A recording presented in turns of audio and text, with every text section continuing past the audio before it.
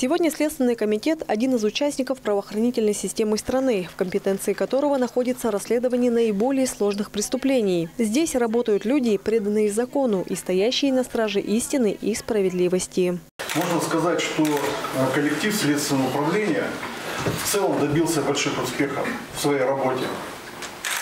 И нам есть о чем говорить, а тем более чем и кем гордиться.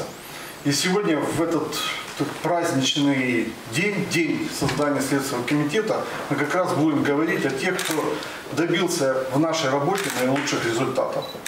Работа следователя требует особых качеств, серьезной подготовки и большой личной ответственности. Сотрудники Следственного комитета обладают настоящим профессионализмом и компетентностью. Они патриоты своего дела. Работников наградили почетными грамотами, благодарностями и очередными званиями.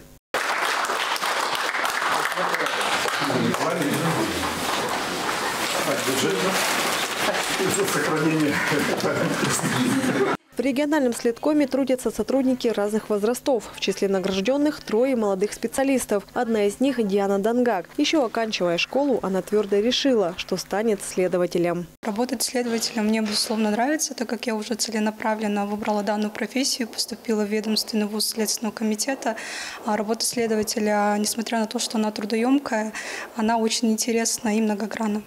А, соответственно, работа на данной должности, а, я каждый день повышаю свой уровень а, знаний и в том числе профессиональные навыки. Пользуясь случаем, хочу поздравить всех своих коллег. Желаю процветания, благополучия, чтобы уголовные дела доводились до верного и победного конца.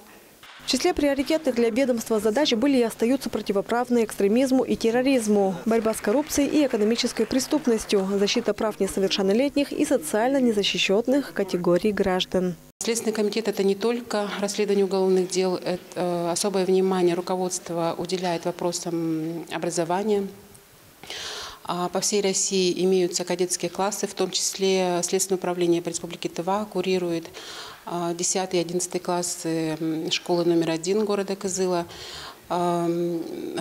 Сотрудники Следственного управления постоянно посещают, э, организовывают встречи с учащимися, вводят их как бы в азы своей профессии, ну и, соответственно, проводят эм, профилактическую работу. Президент России Владимир Путин в социальных сетях поздравил всех сотрудников и ветеранов Следственного комитета с Днем образования службы, отметив их мужество и самоотдачу в расследовании преступлений неонацистов против мирного населения в Донбассе.